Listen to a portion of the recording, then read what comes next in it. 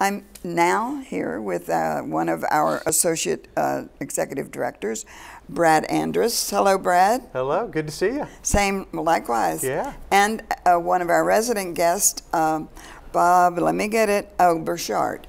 And Bob, you are in charge of, or maybe interested in, some of our environmental um, effort here at Greenspring. Yes. Um, to make us greener than than green.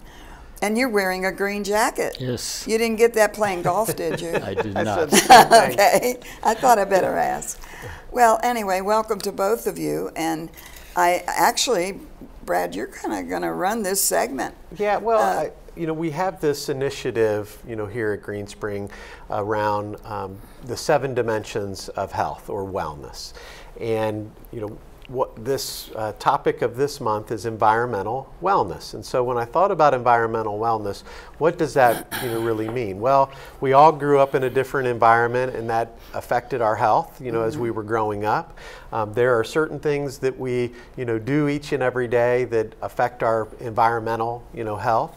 And so uh, when I found out about uh, Bob Burchard's uh, book on greening Greenspring, and you know Bob was a professor of biological sciences at uh, University Maryland, Baltimore County. I thought, what a great opportunity to bring you on to talk about environmental wellness and also touch on some tips for conserving you know energy and materials and resources.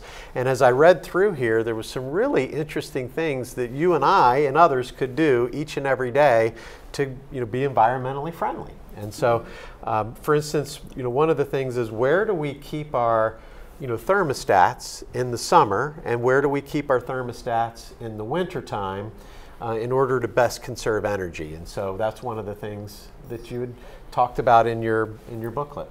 Correct. So, So uh, You're on. I'm on. so uh, I use myself as an, an example. Uh, th- this may be a little extreme for some of you, but uh, in the summer I keep my thermostat at 80, uh, and uh, that's right. Keep it at 80. Uh, and in the off season, the wintertime, I keep it 65, something like that. That may that probably doesn't appeal to some of you, but that, lo- um, that second one doesn't appeal to me, but the first one, actually, I have to do. well, I- people could dress for the weather. That's true. So there's really no, uh, as, as far as I'm concerned, there's no reason to have. Uh, mul- uh, there, there is a reason to have multiple la- layers of clothing. Mm-hmm. Uh, sure. So you just dress accordingly. I keep a shawl next to my chair That's that right. I can put around. And you know, having you know, 13-year-old twin girls in my house, 65 probably wouldn't go over well, but maybe 68. You know, maybe going a little little lower than we normally would. That would really help to reduce the carbon footprint. Exactly. Um, so But Bob, do you, do you uh, in your writing, do you have uh, statistics about the uh, the differences and how just changing something this many degrees causes this uh, effect? Um, do you spell that out at all? For those of us who are interested in statistics. Uh, it's not very interesting. I mean, the, the whole. The, my point is that we can do better in terms of the the long-term view of our future, g- given our our impact on the environment, which is not is has been negative, really quite negative, and we're in serious trouble. Uh, I think there's there still are people out there who don't accept the scientific understanding of climate change. That's right. But uh, the fact is, it's going on and at a very rapid pace. And uh, I, I, w- w- people have suggested that what we have to do is start thinking about a World War II-like preparation to not fight uh, the Nazis, but uh, fighting the change in our in, in, in our environment. Mm -hmm. So in um, you know Bob's booklet, there are all kinds of you know analysis and numbers and graphs, and so um, you know that might be something Yeah, that if would you're be interested interest, in that. Yeah, very good. Um, you know some of the other things. You know when you're grocery shopping, for example, uh, one of the things uh, that you said are um, you know, we have recycling, you know, bags, and we can turn our recycling bags into the store or not use plastic bags at all. Uh, is there anything else that, from a grocery shopping standpoint, that you would suggest to all of us? Well, one of my favorites is uh, bottled water. And so I, in the booklet, I talk about Fiji water. Uh, so this is water that is bottled in the Pacific Islands, Fiji. Uh, that means it has to be transported uh, the 7,000 some odd miles to get to uh, our community here from uh, over that distance. Uh, why do that when we have a perfectly good and healthy uh, water supply system provided by Fairfax County? And the water that comes out of our the local reservoir that supports our, the system uh, is clean by multiple measures. Uh, so the idea of hauling that that material, heavy water is heavy, uh, seven thousand miles when you can just Turn your your tap and on. turn the faucet on. Yeah. I, if I, can I blush on the air? because I'm guilty of that Yeah. uh, uh, in many ways of the bottled water. Well, speaking of water, um, you know, another way to conserve, you know, energy is in your refrigerator and freezer. You mentioned something to the effect of having capped plastic two-quart bottles um, of frozen water in the freezer. You don't have to put water in it.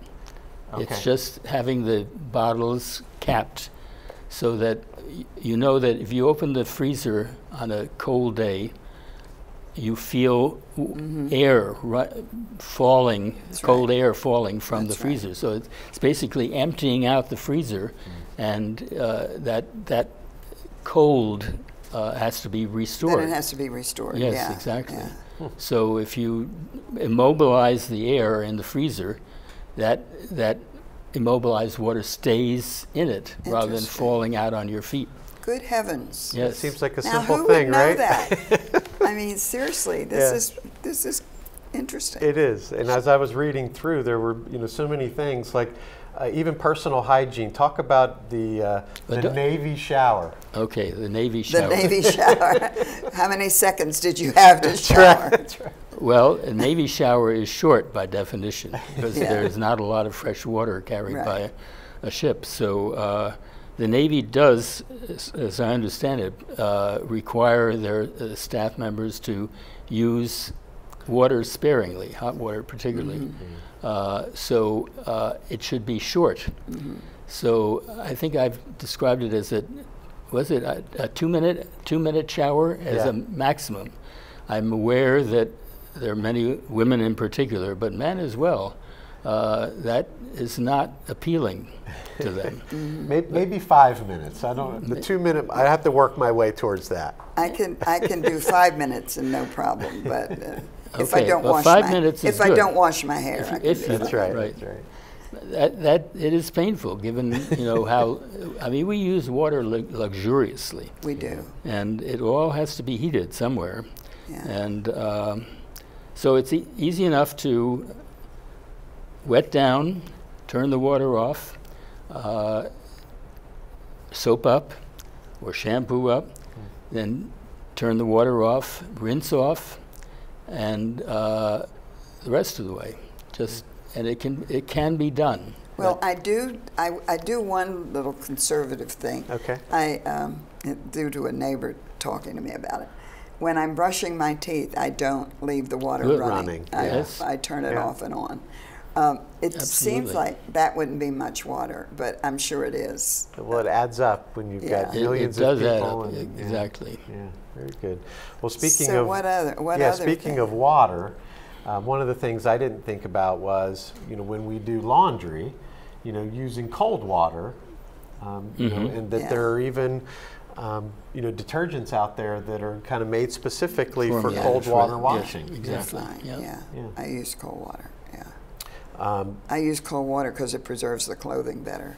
even yeah, which is once again another environmentally you know I friendly mean, thing to unless do. something were really like dirty, because I washed, and wiped the balcony down or something, and then I might use uh, warm water. But yeah.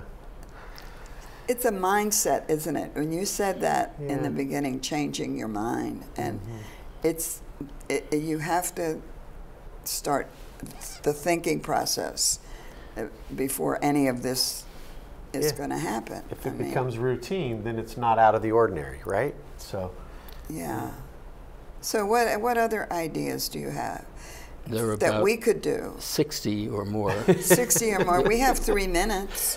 What can you do in three minutes? well, I, I, I, we were just talking before about using use, using hot water as an energy uh, uh, store. So you cook a pot of spaghetti. What do you do with the water when the spaghetti is done? Throw it out. Throw it out. So here you're throwing heated water in the winter. No, not, not this is not a summer issue. You, you may as well save that water and use it as a heating source for your home rather than letting the hot water drain down into the sewer system below and it's gone. It can't be captured.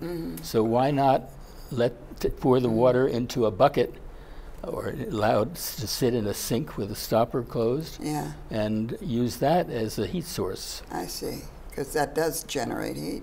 It is. It's heat already captured, and Yeah, One time when I lived uh, somewhere else, they had this big restriction on you. s- You couldn't water your plants and you couldn't wash your car, blah, Right. blah, blah. And so I remember what I, one of the suggestions somebody had, whenever I took a shower, I, I locked the drain. And then, because I had a garden, I had a little garden Yeah. of flowers, not food, but flowers. Mm-hmm. And I, I thought, oh, I want to keep my flowers alive. And they put this into implementation in the middle of the summer. My flowers are all out there, little garden. And so I was use saving that that, water, yeah. out of you know my showers. That's what I watered my plants. Now it was a pain in the neck to to get Tote the, all that get water, the bucket right, and yeah. tote it out across the living room, and you know. But anyway, Yeah. I bet it was a, a way I did it then. Um, but until it's drawn to our attention, Yeah. uh, Bob, and and it, it's not you know we don't think about it. we don't. And I think we have to be very mindful of the impact of not doing these things. Again, I, I early on I said uh, people who are are concerned about it are looking for ways of making a drastic change in the way we run our world. Uh, it's it's not a fun fun and games. The the projections I mean, we're, we're talking about animal species dying, uh, becoming extinct. Of course, Uh, there have been periodic uh, pieces in the Post about it. especially up in the Arctic and Yeah, and exactly. Yeah. So um, Yeah. Well, I mean, some of the things that we're doing here at Greenspring, you know, to reduce our carbon footprint, or you know, uh, things like LED lighting. You know, we're now moving Mm-hmm. Right. towards that. Um, that's a you know big savings.